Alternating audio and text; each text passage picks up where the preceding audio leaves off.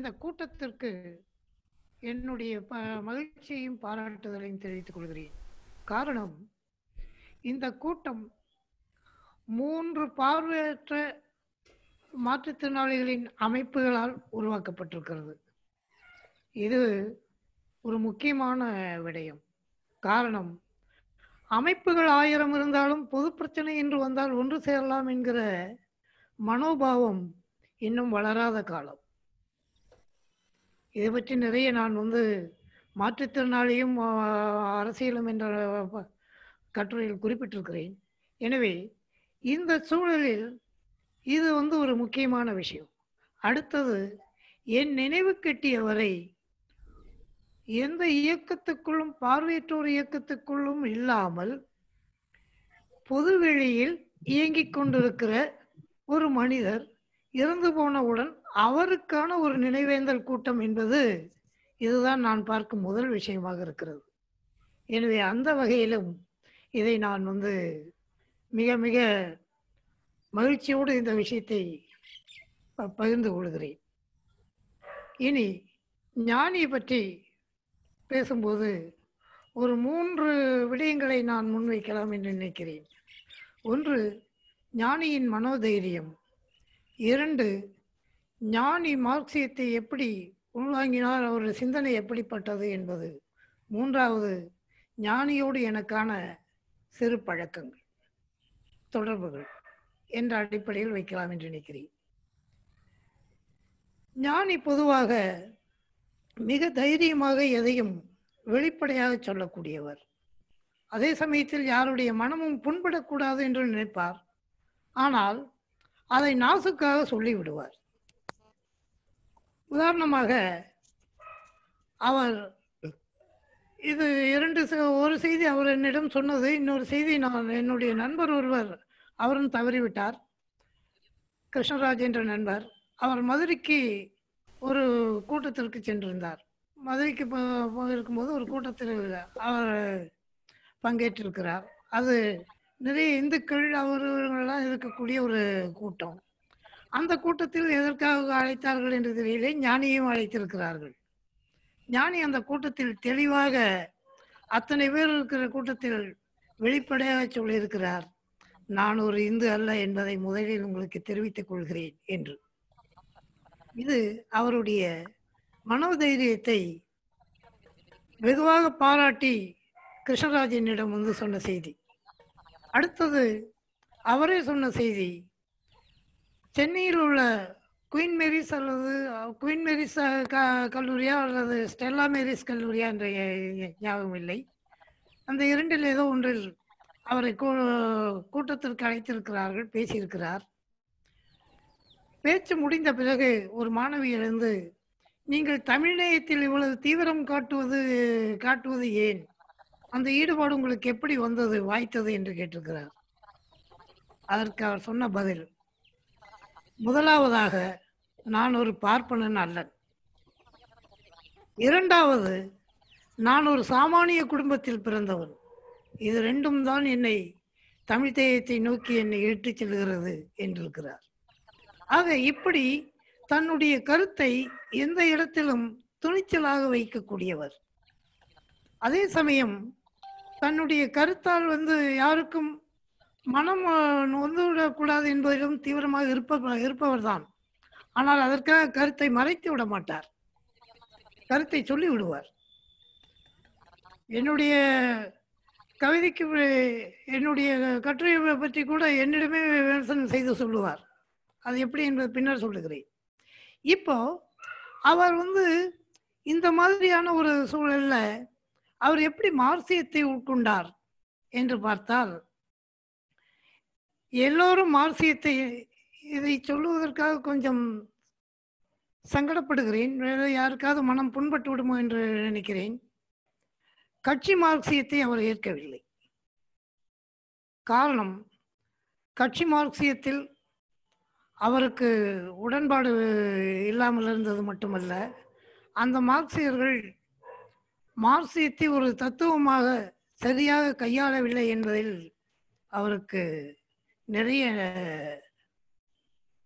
எண்ணங்கள் இருந்தன நம்பிக்கைகள் இருந்தன. அது உண்மையும் கூட. ஏனென்றால் அண்மையில் அண்மையில் மறைந்த எரிக் ஹாப்ஸ்பாம் தன்னுடைய நூலான how to change the world the evolution of Marxism and the reflections on it என்ற நூலில் பேசும்போது மார்க்சியர்கள் மார்க்சியத்தை மதமாக்கி விட்டார்கள் என்று குறிப்பிட்டிருக்கிறார். இந்த குற்றச்சாட்டு அவர்கள் அவர்கள் மீது மிக நீண்ட நாட்களாக வந்து கொண்டிருக்கின்றன. அநேகமாக நான் நினைக்கிறேன் ஆயிரத்தி தொள்ளாயிரத்தி அறுபதுகளிலிருந்தே இந்த குற்றச்சாட்டு வரத் தொடங்கிவிட்டது என்று நினைக்கிறேன். இந்த குற்றச்சாட்டு இப்படி இருந்த போதும் இந்த குற்றச்சாட்டு ரஷ்யாவுடைய நடவடிக்கையால் வந்ததா என்ன என எனக்கு தெரியாது. ஆனாலும் ஞானியை போன்றவர்கள் மாவோயிஸ்ட் மா- மாவோயிசத்தை பெரிதும் நம்பினார்கள். ஆனால் மாவோயிசமும் ஒரு கட்டத்தில் தவறு இழைத்தது என்பதை அவர் பின்னர் ஒப்புக்கொண்டார். உதாரணமாக தோழர் எஸ் என் நாகராஜன் எழுதிய கீழே மார்க்சியம் என்னும் நூலை பற்றி நான் ஒரு இருபத்தி இருபத்தி ஆறு இருபத்தி ஏழு பக்கத்துக்கு ஒரு விமர்சனம் எழுதியிருந்தேன். அந்த வி- புதுப்புணரில் வந்ததுதான் அது. அந்த விமர்சனத்தை அவரிடம் முதலில் படிக்க கொடுத்தேன். அவர் படித்துவிட்டு சொன்னார் இன்றைய சூழலில் தமிழகத்தில் இப்படி ஒரு விமர்சனம் தேவைப்படுகிறது. என்னை போன்றவர்கள் மாவோ ஒரு மாபெரும் தெய்வம் என்பது போல நம்பிக்கொண்டிருந்தோம். அது இல்லை என்று ஒரு குழுவினர் கே- தயாராகி இருக்கிறீர்கள் இது வரவேற்கத்தக்கதுதான் என்றார். சொல்லிவிட்டு பின்னாலே சொன்னார் என்னுடைய நூல்களை கூட மார்க்சிய நூல்களை எல்லாம் எடுத்துக்கொண்டு இது மாதிரி ஒரு விமர்சன கட்டுரைகளை எழுதி இதை வந்து ஒரு சின்ன புத்தகமாக போட்டு விடுங்கள். புத்தகமாக கொண்டு வந்து விடுங்கள். தமிழகத்துக்கு உதவும் என்றார். இது அவர் மார்க்சியத்தை உள்வாங்கிக் கொண்ட போதிலும் மார்க்சியத்தின் அவ்வப்போது நிகழக்கூடிய மாற்றத்தை ஏற்றத்தை ஏற்றுக்கொள்ள வேண்டும் என்பதில் தெளிவாக இருந்தார். மார்க்ஸ் நம்மவர்கள் செய்கிற தவறை மார்க்ஸ் ஆயிரத்தி ஐநூறு வார்த்தைகளில் சொல்லியிருந்தால் அந்த ஆயிரத்தி ஐநூறு வார்த்தைகளுக்கு மேல் நாம் எதுவும் சொல்லக்கூடாது என்ற ஒரு நிர்ணயம் வைத்துக் கொண்டிருக்கிறார்கள். இது தவறு. ஒரு தத்துவம் அப்படி உருவாக முடியாது. ஒரு தத்துவம் உண்மையில் உருவாக வேண்டுமானால் அந்த தத்துவத்துடன் தத்துவத்தில் இருக்கிற சீர்மைகள் ஒரு பக்கமும் அதனுடைய சிறப்பம்சம் இல்லாத விஷயங்கள் ஒரு பக்கமும் எடுத்து ஆயப்பட வேண்டும். அப்படி ஆயப்பட்டு ஆய்வுக்குட்படுத்தப்பட்ட பிரச்சனையில் வெளிவருகிற முடிவுகளை நாம் மக்களுக்கு சொல்ல வேண்டும் சமூகத்துக்கு சொல்ல வேண்டும். சரி. ஞானி எப்படி மார்க்சை உட்கொண்டார் இது இங்கு இருக்கிற மார்க்சியர்கள் கற்றுக்கொள்ள வே- கட்சி மார்க்சியர்கள் கற்றுக்கொள்ள வேண்டிய ஒரு பாடம் இது. எல்லோரும் என்ன செய்தார்கள் தெரியுமா? சோவியத் யூனியனிலிருந்து வந்த புத்தகத்தை அப்படியே எடுத்தார்கள் படித்தார்கள். அதை மீண்டும் வெளியே கக்கினார்கள். இதுதான் நிகழ்ந்து கொண்டிருந்தது. ஆனால் மா ஞானி மார்க்சியத்தை மூன்று வகையில் யோசித்தார். அப்படித்தான் எனக்கு புலப்படுகிறது. முதலாவதாக மார்க்சியத்தை உள்வாங்கினார். இரண்டாவதாக மார்க்சியத்தை உள்வாங்கிய மார்க்சியத்தை செரிமானம் செய்து கொண்டார். மூன்றாவதாக அதை எந்த இடத்தில் தேவைப்படுகிறதோ அந்த இடத்தில் தக்க இடத்தில் அதை ஒருங்கிணைத்தார். இந்த ஒருங்கிணைப்பு தான் மிக முக்கியமான விஷயம்.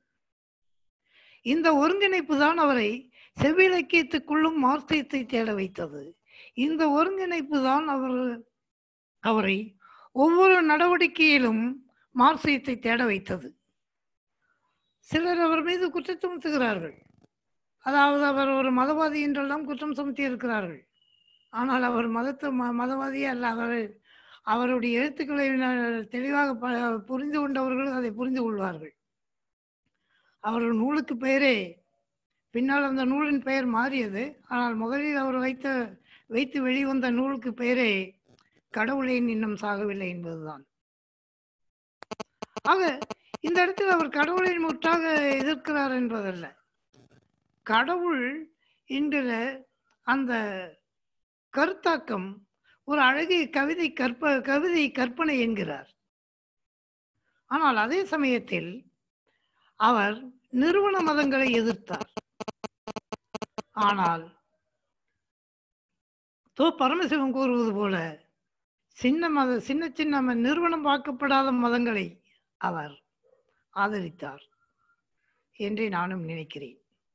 காரணம் அவருக்கு வந்து மதம் நிறுவனமானதா இல்லையா என்ற என்பது ஒரு பக்கம் இருந்தாலும் அதைவிட முக்கியம் சாமானியனின் உணர்வும் சாமானியனின் வாழ்வும் சாமானியனுடைய தாகமும் எதை சார்ந்திருக்கிறது? அது பரிமளிக்கக்கூடிய விடயங்கள் எவை என்பது பற்றித்தான் அவருடைய கருத்தாக இருந்தது. எனவே அந்த அடிப்படையில் தான் அவர் அதை நேசித்தார். அவர் அடிக்கடி சொல்வதுண்டா ச- நான் கூட ஒரு சமயம் அந்த இதை நான் அந்த க- குறிப்பிட்டிருக்கேன். நான் அவரிடம் கேட்டது உண்டு. சைவத்தை விட வைணவம் சற்று நெகிழ்வுத்தன்மை உள்ளதாக இருக்கிறது இல்லையா? சைவம் கொஞ்சம் வறட்சியாக இருப்பது போன்று தெரிகிறதே என்று கேட்டபொழுது இருக்கலாம் அப்படி நினைப்பதற்கும் வாய்ப்பு உண்டு என்றார். காரணம் நீங்களே யோசித்துக்கலாம்.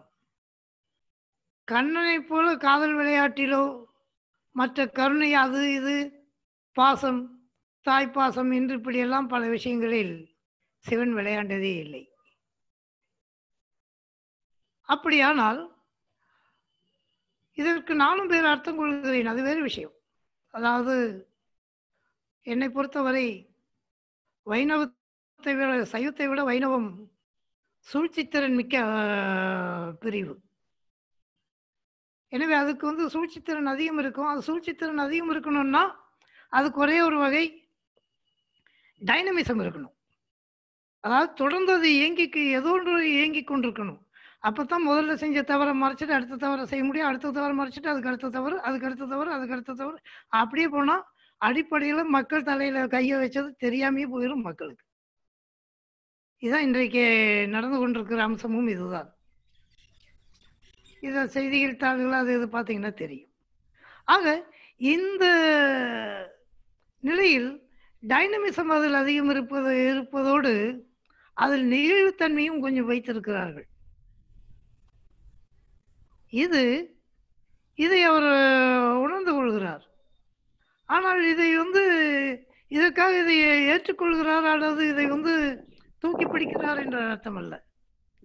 எசஞ்ச நாகராஜனை கூட சாசி கண்ணன் அவர்கள் வைணவத்தை தூக்கி நிறுத்துகிறார் தூ- தூக்கி நிறுத்த முயலுகிறார் என்று ஒரு தடவை விமர்சனம் செய்தார். அந்த விமர்சனம் எனக்கு என்னவோ சரி என்று படவில்லை. ஏனால் எஸ் என் நாகராஜன் இப்போதுதான் வந்திருக்க வருகிறார். இவர் தூக்கி நிறுத்துற அளவுக்கு வைணவம் இருக்கிறது. அது எப்போது யாராரோ தூக்கி நிறுத்தி அதை பலத்த வ- நிறுவனமாக்கி விட்டார்களே இனி இவர் போய் வேண்டியவர் இருக்கிறது? ஆ சார் மன்னிக்கணும். நேரத்தின் அருமை. சரி சரி. பாத்துங்க. ஒரு ஒரு ஐந்து நிமிடங்களுக்குள்ள எனவே அந்த அடிப்படையில் அதை முடித்து விட்டார். இனி எனவே இந்த வகையில் அவரை வந்து இது செய்ய முடியாது. இனி அவருடைய பழக்கம் என்னுடைய என்னுடன் நான் அவரோடு பழகியது எப்படி? என்றால் அது தொள்ளாயிரத்து தொண்ணூறுகளில் ஏற்பட்ட ஒரு சந்திப்பு. அப்போது ஒரு பத்திரிகைக்காக அவரை நேர்காணலுக்காக போயிருந்தேன். அப்போதுதான் முதல் முறையாக பார்த்தேன். பொதுவாக யாரை பார்த்தாலும் முதல் முறையில் பார்த்தாலே அவரை பற்றி முழு விவரத்தையும் கேட்டு விடுவார் அப்படி என்னையும் கேட்டார். சோவியத் யூனியனை பற்றி சீனாவை பற்றி எல்லாம் விசாரித்தார். கடைசியாக நீங்கள் ஏன் வரலாற்று நூல்கள் வரலாற்றை பற்றி ஏதேனும் நூல் எழுதலாமே? என்றார். இந்த கேள்விதான் என்னை அவர் வ- பயமுறுத்தி மே- அதற்கு பிறகு சில ஆண்டுகள் அவரோடு பழக விடாமல் செய்து விட்டது. பிறகு பழகினேன் நின்பது பேசினேன் எல்லாம் செய்தேன்.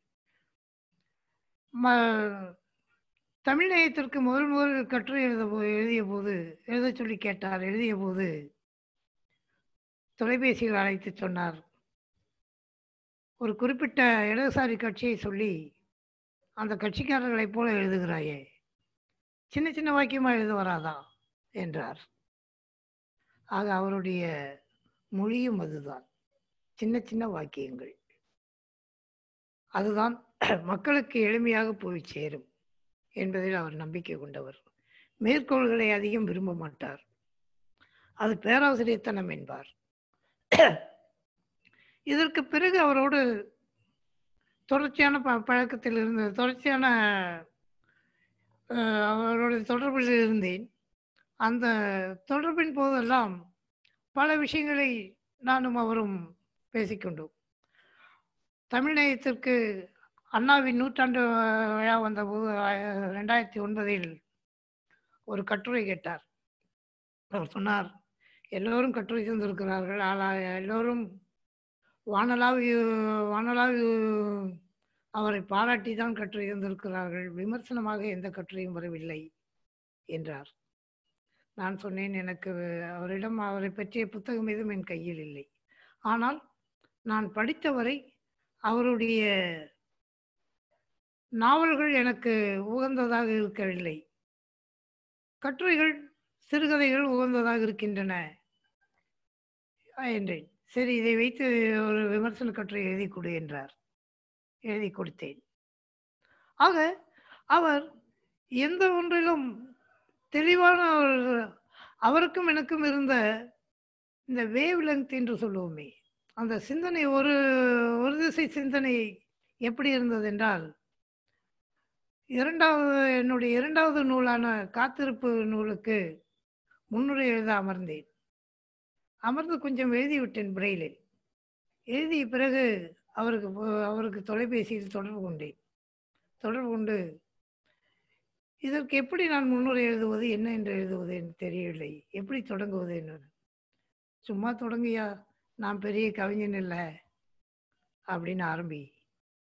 ஆரம்பித்து என்ன எதுக்காக இது எழுதுறேங்கிறது சொல்லு என்றார். நான் அசந்தே போனேன்.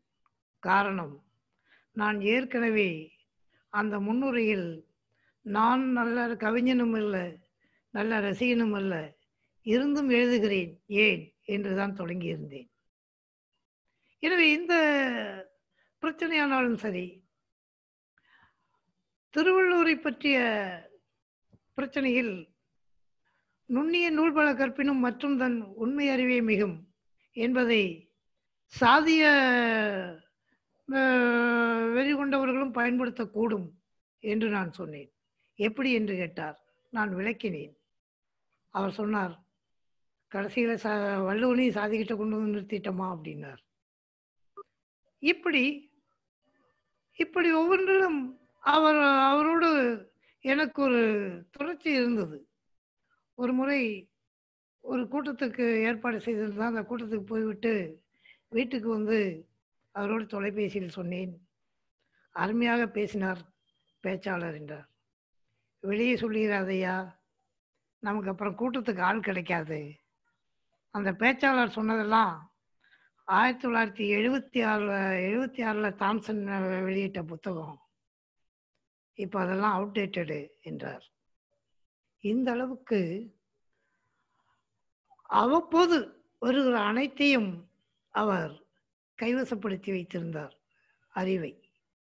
அதுதான் அவருக்கு இருக்கிற ஒரு மிகப்பெரிய சக்தி. நினைவாற்றல் என்பது அவரது மகா பெரு- மகா பெரும் சக்தி. நான் அவரை கண்டு பேசும்போதெல்லாம் சில சில விஷயங்களை வந்து கலந்து கொண்டு பேசுவோம். ஆனால் அவர் அதற்கெல்லாவற்றுக்கும் சில சில விஷயங்களை கோடிட்டு காட்டி பேசி அதற்கு மறுப்பு எப்படி மறுக்க வேண்டுமோ அப்படி மறுப்பார். ஆனால் நல்லது என்று தெரிந்தால் பாராட்டுவதை பாராட்டுவார். அதை அவருக்கு என்ன முறையில் தெரிகிறதோ அந்த முறையில் அவர் அதை செய்து விடுவார். இப்படி அவரோடும் எனக்கும் மிக நெருக்கமான தொடர்பு இருந்தது. சில சில முக்கியமான விஷயங்களில் கூட அவர் பண உதவி ப- பண விஷயங்களில் கூட அவர் ஃபோ போன் செய்து உரிமையோடு கேட்பார். உரிமையோடு அதை பற்றி பேசுவார். எல்லாம் இருந்தது. ஆனால் என் வருத்தம் எல்லாம் கடைசி ஒரு வ- ஆண்டாக அவரோடு நான் தொடர்பு கொள்ளாமல் அதாவது பிப்ரவரி ரெண்டாயிரத்தி பத்தொன்பது பிப்ரவரி பதினேழில் நடந்த இதில் தொடர்பு கொண்டிருந்தேன் அவருடைய நிகழ்வில். இந்து ப இந்து தமிழ் இசை தமிழ் திசை தயாரித்த ஆவணப்படத்தில் தொடர்பு கொண்டிருந்தேன். நானும் கலந்திருந்தேன் அந்த கூட்டத்தில். ஆனால் அதற்கு பிறகு அவரோடு தொடர்பு கொள்ளாமல் விட்டது என்னை இன்னமும் உறுத்துகிறது. இந்த நிலையில் இப்படி ஒரு வாய்ப்பை எனக்கு நீங்கள் அளித்ததற்கு என் நெஞ்சார்ந்த நன்றியை கூறி விடைபெற்றுக் கொள்கிறேன். நன்றி வணக்கம். சுகுமாரன்